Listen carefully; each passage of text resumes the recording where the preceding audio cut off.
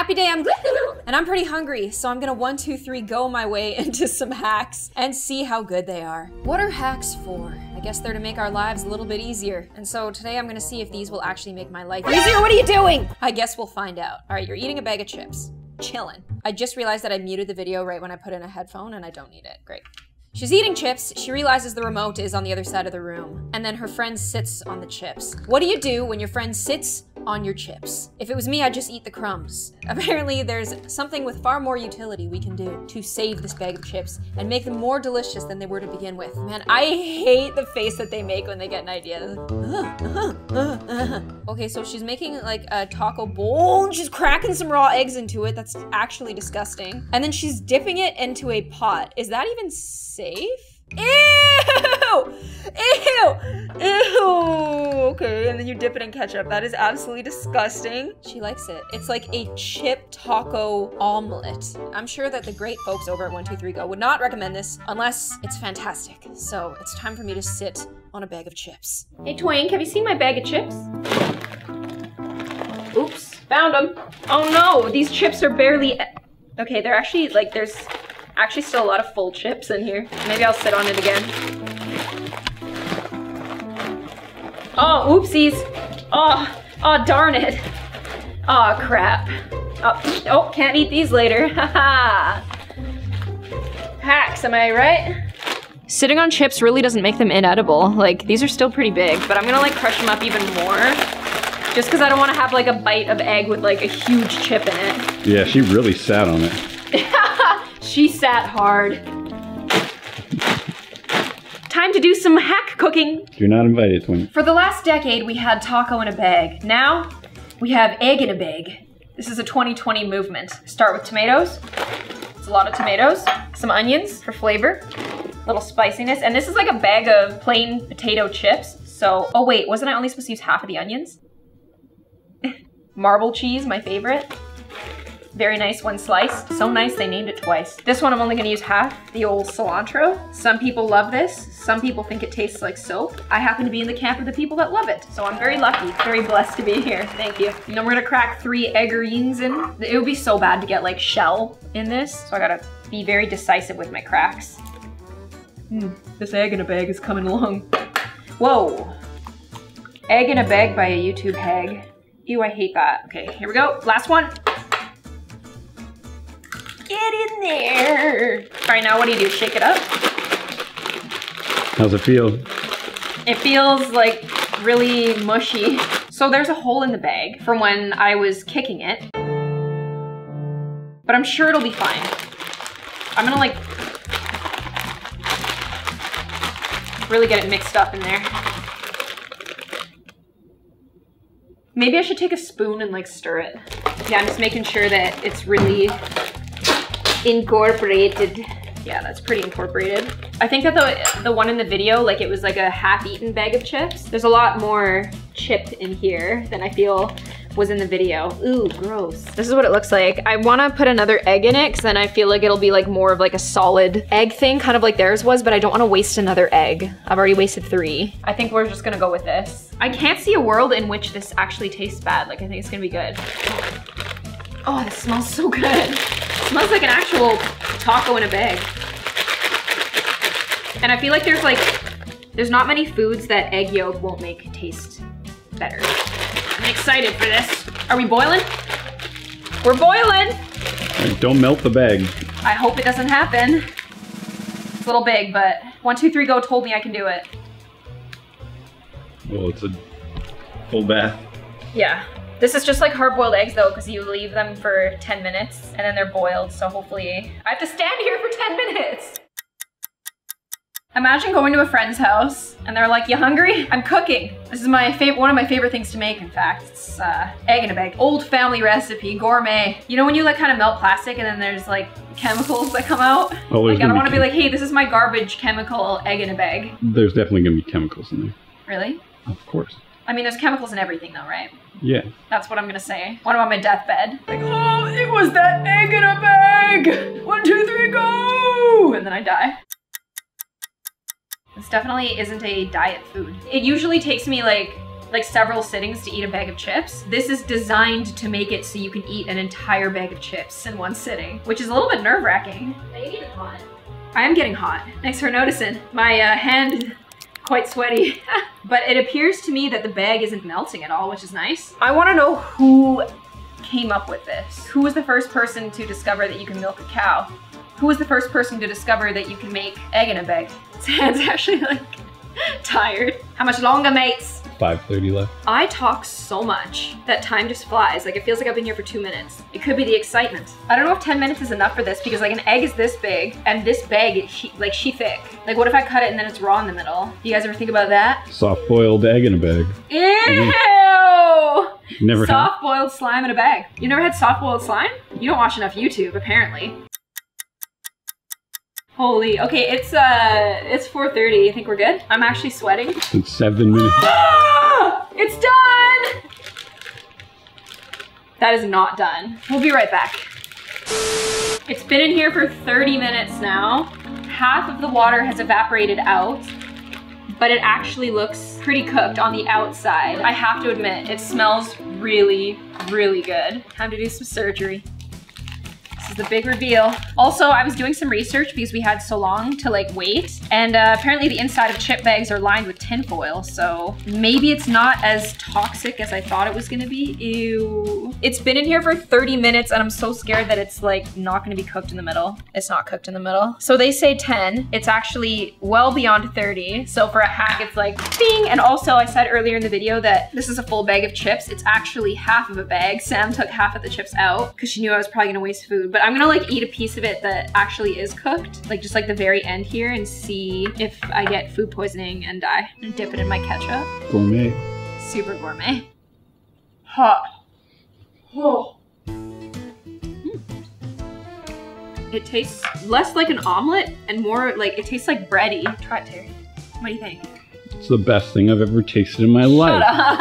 it's good, but it's not like amazing. It's not the best thing I've ever tasted in my life. I feel like if you did it with a different flavor of chips, it would be good. Like what? Like salt and vinegar? And if you mix it up in the bag and then pour it onto like a skillet, it would probably be way easier to cook. That's so true. And then you could get like a nice brown on the side and not overcook the outside so the inside can be cooked. But yeah, I actually like feel pretty disgusted at the amount of food I wasted because there's no way I'm eating this. I'm not just gonna eat like a condensed bag of chips. I'll fry it up later and eat it. okay, good. Just gonna slam the most delicious food I've ever had in my life while watching the next one. Girl likes to, oh, she's out of popcorn, poor thing. It's like eating a giant potato. Anyways, this girl runs out of popcorn, so she's like, let me use your, wait, how could she, there's no way that straightener was on. Because if it was, ow! Like that would really, really, really hurt. And that is quite irresponsible to make it seem like you can do this without severely hurting yourself. So she's gonna take the popcorn kernel, put it in the straightener, and make popcorn. Wait, how did it go from like regular popcorn to like fully buttered popcorn? Well, I need to see if this one works because if it does, that's really exciting. But also, I'm a little bit reluctant to use my hair tools in such a manner because I don't want to ruin my hair tools. Okay, I have a bowl of popcorn with some like kernels in the bottom and I have my straightener cranked up to 300 degrees. That's how I usually straighten my hair, which might be a little bit too hot. But I'm gonna use tweezers because in the video they use their fingers and I feel like that's kind of dangerous. Oops. Well, these tweezers just don't. They're times the charm. How long do you have to wait? 30 minutes. Hopefully not 30 minutes. I'm. What if it blows? Like, what if it hits me in the eye? Can I? Can I get a pair of glasses? Those have no lenses. Oh, yeah. All this is doing is getting butter on my straightener. I'm gonna crank it to 360. You look so cool. No, no, I don't. I wish I could be as cool as you. Shut up. I knew you were being sarcastic. Second kernel. If this thing just like pops popcorn and shoots out at me, it'll cause like a burn. Like, ah! Cool. Any minute now. Twinkie's watching in anticipation behind me. He's like, what is this idiot doing? Cranking it to 410 degrees. We're going several kernels at once. Dang, that was the best one I've seen in. Operation. I'm the doctor for you. Oh. Oh! Let's just see how easy they made it look in this video while I sit here and wait give me a break. And like she eats it straight away, even though it's like on fire, even though it's like 400 degrees. Whoa! It worked! Whoa! Eat it, it's 400 no. degrees. Okay, okay, okay, I'm gonna, I'm gonna eat it. Mmm! You can eat it after, it's not too hot. Ah! Let's go! For this next one, we have a girl putting toast in a toaster. Toasters are one of the easiest things in the world to use. I can't imagine a hack that makes it easier to use a toaster. So she's looking in there. I would never put my face that close to a toaster. This other girl is carrying an iron, so I'm just gonna go ahead and assume that, oh, well of course I'm gonna assume it. There's literally an iron in the background. I'm just gonna go ahead and assume that she's gonna cook the toast with an iron instead of a toaster. There's so much more setup here. There's tinfoil, there's an iron, there's an ironing board. Whereas with a toaster, you just put it in and it's done. Like, I don't see how this is a hack. There's supposed to be something that make you play smart, not hard. That is actually quite well browned bread, I will say. And that cheese is perfectly melted. Wow, okay, that looks delicious. Here I have some bread, a piping hot iron, and some tinfoil. We're gonna make a grilled cheese. And usually when I make grilled cheese, I enjoy putting butter on each side, but I melt the butter in the pan first. So we can't be doing that today. Hopefully a grilled cheese tastes just as good without the butter. And maybe this is a hack to not use butter for your grilled cheese. I also like to like rip the cheese so it doesn't like drip out the sides. Oh God. Paper cuts from tinfoil, they cut deep.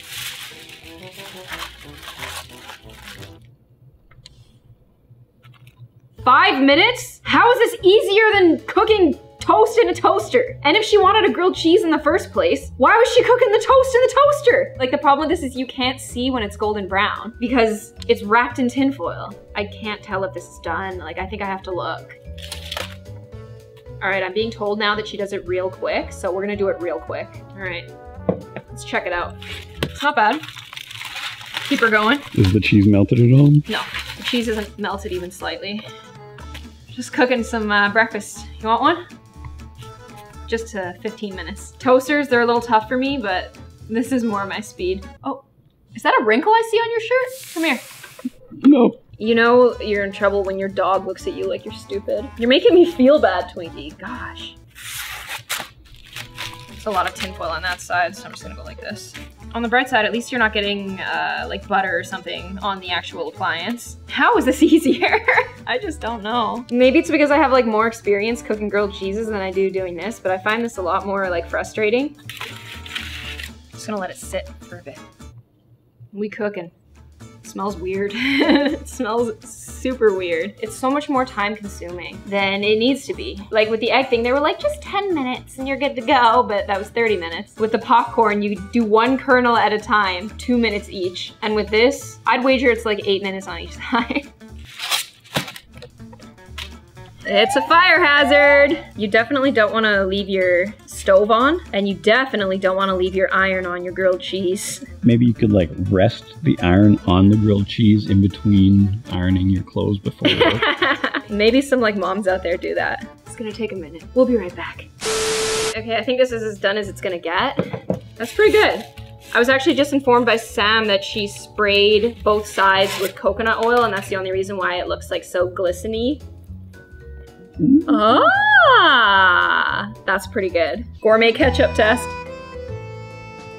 Needs butter. Tastes super plain. It's all right. Okay, so this girl's starving. She's like chilling in a waiting room. She pulls out everyone's favorite food, a nice noodle cup with a gigantic rip in it, so she can't actually cook her noodles in it. She sees the resident water heater. Eh, This is communal. This is a communal water heater. It's not for her. It's for everybody who hangs out in this office, and she selfishly dumps her noodles in it and the soup base. She could have just put the noodles and the water in and then taken it out and then like used it in a glass or something. There's literally a glass right here. But instead, she gets her soup base all over this water heater so everybody else that day, unless somebody washes this, everybody else that day is gonna be like, why does my water taste like curry? This is why. Is she gonna eat right out of the she is. Of course she is. That's a ton of water for a noodle cup. So I have a water heater here at my house, but I don't want to destroy it. So instead of doing that, I'm gonna try a hack that I've seen online that involves straightening. Okay, wait, let me show you. So I saw this thumbnail the other day. I think it's very obvious that she has ramen on the left side and spaghetti on the right side. Cause like it's a different color of yellow and it's a different texture of noodle. But I wanna see if this works. I can't seem to figure figure out why you would want to straighten your ramen noodles, but this is a, a viral hack and I want to give it a go. Here we are again with my poor straightener. I've got some instant noodles here so we can see what happens here. Oh, that's a sizzle. Hey, that's low-key working. Turning this ish up. I need you to be straight so I can eat you. I'm gonna flip them around just so we can make sure that we're not hitting ourselves right now. It is worth noting that I didn't put seasoning on the noodles just because I really don't want to ruin my straightener. And I did like strain the crap out of them. Oh, this side looks good. This side kind of has like like what appears to be the beginning of burn marks. I just don't get why you'd want to do this. It is kind of cool because like it cooks the noodles together. No, it doesn't. This is just completely a useless thing to do. You hungry? Look, I straightened it. I know you like it straight. With my own hair, I really like to only do one pass, even if it doesn't work perfectly. This is like what you do if you really want to fry your hair. Tastes good. I just realized that like I just ate two things today that like my a thing that my hair touches every day. That's enough viral food hacks for one day. I hope that you guys enjoyed this video. I really do. If you'd like to see me again, make sure you hit push notifications and I will see you on the next one. Bye!